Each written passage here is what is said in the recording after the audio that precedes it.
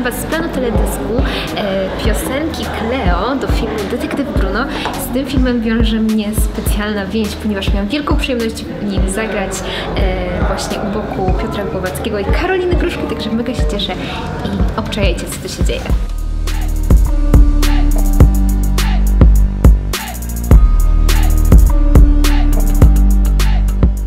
Jesteśmy już po pierwszych scenach, za mną jest Cleo.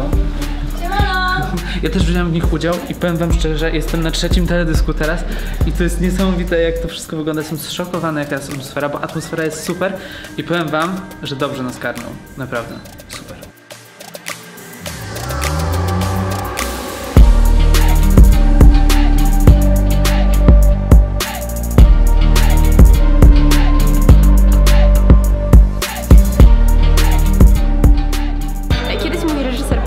Praca na planie to ciągłe czekanie i tak jest też teraz. Właśnie czekamy na swoją scenę, każdy czeka na swój czas, ale w tym czasie można porobić inne rzeczy, na przykład poznać super ludzi, ponagrywać materiały do siebie i to jest właśnie najfajniejszy czas, który można tak wykorzystać. E, Więc ja idę dalej do ludzi, gadać, rozmawiać e, i co, spędzać super miły wieczór, E, a Was zapraszam dalej do Cleo.